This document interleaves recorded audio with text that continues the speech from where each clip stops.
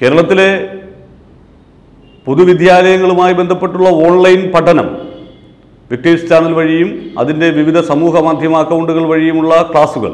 അത് തിടുക്കപ്പെട്ട് തുടങ്ങേണ്ടതുണ്ടായിരുന്നോ എന്നുള്ള ഒരു ചോദ്യം ഒരു ഘട്ടത്തിൽ ഉയർന്നിരുന്നു.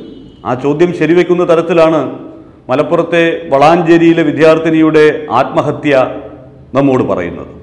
ക്ലാസുകൾ കാണാൻ ആദ്യ ദിവസം തന്നെ കാണാൻ കഴിയാത്തതിനാൽ പഠിക്കാൻ മിടിക്കുകയായിരുന്ന ആ പെൺകുട്ടി മാനസിക സമ്മർദ്ദത്തിലേക്ക് പോകുന്നു. എനിക്കിനി പഠിക്കാൻ കഴിയില്ലേ? എനിക്ക് ക്ലാസ്സുകളൊന്നും അറ്റൻഡ് ചെയ്യാൻ കഴിയില്ലേ? എന്നുള്ള ഒരു വലിയ ചോദ്യം അവളുടെ മുന്നിലേക്ക് എത്തുന്നു. ചെറിയ മനസ്സാണ്. നിരാശയിലേക്ക് വീഴുന്ന ആ മനസ്സ് ആത്മഹത്യയിൽ അഭയം പ്രാപിക്കുന്നു. ലോക്ക്ഡൗൺ മൂലം പണിയില്ലാതായിപ്പോയ അച്ഛന് വീട്ടിൽ കേടായിരിക്കുന്ന ടി വി നന്നാക്കി കൊടുക്കാനുള്ള സാവകാശം കിട്ടിയില്ല. ഒരു ഇത്തരം സൗകര്യങ്ങളുള്ള മൊബൈൽ ഫോൺ വാങ്ങിക്കൊടുക്കാനുള്ള കാശുമില്ല അദ്ദേഹത്തിന്റെ കയ്യിൽ. അപ്പോൾ പിന്നെ തൽക്കാലം ക്ഷമിക്കൂ മോളെ അല്ലെങ്കിൽ അയൽവക്കത്ത് പോയെങ്കിലും അത് കാണൂ എന്ന് പറഞ്ഞപ്പോഴും അത് ഉൾക്കൊള്ളാനുള്ള മാനസികാവസ്ഥ കുഞ്ഞിനുണ്ടായില്ല. അങ്ങനെയുള്ള കുട്ടികൾ ധാരാളമുണ്ട് നമ്മുടെ നാട്ടിൽ. അത്തരത്തിലുള്ള കാര്യങ്ങൾ തിരിച്ചറിഞ്ഞ് പരിഹാരമുണ്ടാക്കുന്നതിനുള്ള ശ്രമങ്ങൾ നടത്തിയിട്ട് പോരായിരുന്നോ ഈ ക്ലാസ് എന്നുള്ള ചോദ്യം തുടക്കം മുതൽ ഉന്നയിക്കപ്പെട്ടത് അതുകൊണ്ടാണ്. ഒന്നാം തീയതി തന്നെ ഈ ഓൺലൈൻ ക്ലാസ്സുകൾ തുടങ്ങിയാലേ പറ്റൂ എന്ന് നമ്മൾ ഒരു വാശി പിടിക്കേണ്ട കാര്യമൊന്നുമില്ലല്ലോ. ഒരു ഒരാഴ്ചയെങ്കിലും സാവകാശം എടുത്ത് ഇപ്പോൾ ഇത് പറയുന്നത് ഇതൊരു ട്രയലായിട്ടാണ് ക്ലാസ്സുകൾ നടക്കുന്നത് എന്ന് പറയുന്നുണ്ടെങ്കിൽ പോലും എല്ലാവരും പഠിക്കുന്നു എല്ലാവരും കാണുന്നു എനിക്ക് കാണാൻ കഴിയുന്നില്ല എന്നുള്ള മാനസികാവസ്ഥയിലേക്ക് കുട്ടികളെത്തും. കുട്ടികളുടെ മനസ്സ് നമ്മൾ തിരിച്ചറിയേണ്ടതുണ്ട്. അവർക്ക് അവർക്കത് സ്വന്തമായി വേണമെന്ന് തോന്നിയാൽ അത് പഠിക്കാനുള്ള ഒരു കാര്യം കൂടിയാണ്. അവിടെ പരാജയപ്പെട്ടു പോകുന്ന രക്ഷിതാവിന്റെ മാനസികാവസ്ഥ നമ്മൾ തിരിച്ചറിയണം. എത്രമാത്രം വേദനയായിരിക്കും വളാഞ്ചേരിയിൽ ആത്മഹത്യ ചെയ്ത ആ കുഞ്ഞിന്റെ രക്ഷിതാക്കൾക്കുണ്ടാവുക? തങ്ങളുടെ പോക്കറ്റിൽ പണമില്ലാത്തതിനാലാണല്ലോ എന്റെ മകൾക്ക് ജീവൻ വെടിയേണ്ടി വന്നത് എന്നുള്ള ആ ചിന്ത ഇനി ജീവിതകാലം മുഴുവൻ അവരെ അലട്ടില്ലേ? അതിലേക്ക് തള്ളിവിട്ടത് നമ്മുടെ സംവിധാനങ്ങളല്ലേ? ഇപ്പോൾ ഉന്നത വിദ്യാഭ്യാസ മന്ത്രി കെ ടി ജലീൽ ഒരു ഓൺലൈൻ മാധ്യമത്തിൽ നൽകിയ അഭിമുഖത്തിൽ പറയുന്നത് കേട്ടു അവിടുത്തെ പഞ്ചായത്ത് ഭരിക്കുന്നത് അവിടുത്തെ എം എൽ എ അവിടുത്തെ എം പി ഒക്കെ യു ഡി എഫുകാരാണ് അതുകൊണ്ട് അവർക്ക് ഉത്തരവാദിത്വമുണ്ട് എന്ന്. എല്ലാവർക്കും ഉത്തരവാദിത്വമുണ്ട് നമ്മുടെ സമൂഹത്തിനും ഉത്തരവാദിത്വമുണ്ട് നമ്മൾ തിരിച്ചറിയേണ്ടത് ഈ ഒരു സംവിധാനം ആരംഭിക്കുന്നതിന് മുമ്പ് കൃത്യമായി സ്കൂളുകൾ വഴി ഒരു വിവരശേഖരണം എന്തുകൊണ്ട് സർക്കാരിന് നടത്താൻ സാധിച്ചില്ല? അങ്ങനെ ഒരു വിവരശേഖരണം ഉറപ്പാക്കിയിരുന്നെങ്കിൽ ഈ ലാപ്ടോപ്പുകളോ മൊബൈൽ ആൻഡ്രോയിഡ് സംവിധാനമുള്ള മൊബൈൽ ഫോണുകളോ അത് സ്മാർട്ട് ഫോണുകളോ അതുമല്ലെങ്കിൽ വീട്ടിൽ ടെലിവിഷൻ സെറ്റുകളോ കേബിൾ സംവിധാനമോ ഒന്നും ഇല്ലാത്തവർ എത്രയുണ്ട് എന്ന് തിരിച്ചറിയാൻ സാധിക്കുമായിരുന്നില്ലേ? അവർക്കൊരു ബദൽ സംവിധാനം ഉറപ്പാക്കാൻ സാധിക്കുമായിരുന്നില്ലേ? ഇപ്പോൾ ഈ ഒരു ആത്മഹത്യയുടെ വിവരം വന്നതിന് ശേഷം അല്ലെങ്കിൽ സോഷ്യൽ മീഡിയയിൽ കൂടി ഇതില്ലാത്ത കുട്ടികൾ ചിലരെങ്കിലുമൊക്കെ അഭ്യർത്ഥന നടത്തുന്നത് കാരണം ഡിവൈഎഫ്ഐ പോലുള്ള സംഘടനകൾ കെ എം സി സി പോലുള്ള സംഘടനകളൊക്കെ ടെലിവിഷൻ സെറ്റുകൾ വാങ്ങിക്കൊടുക്കുന്നതിന് വേണ്ടിയിട്ട് ടി വി ചലഞ്ച് എന്നുള്ള ഒരു ഏർപ്പാട് തുടങ്ങിയിട്ടുണ്ട്.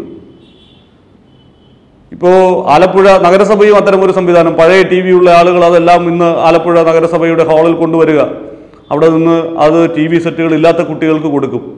ഇതിപ്പോഴായിരുന്നില്ല ചെയ്യേണ്ടത്. വളാഞ്ചേരിയിലെ പെൺകുട്ടിയുടെ ജീവൻ എടുത്തതിന് ശേഷമായിരുന്നില്ല നമ്മൾ ഈ മുന്നൊരുക്കങ്ങൾ ചെയ്യേണ്ടിയിരുന്നത്. എല്ലാം കഴിഞ്ഞു പോയിട്ട് നമ്മൾ മുന്നൊരുക്കങ്ങൾ ചെയ്യുകയാണ്.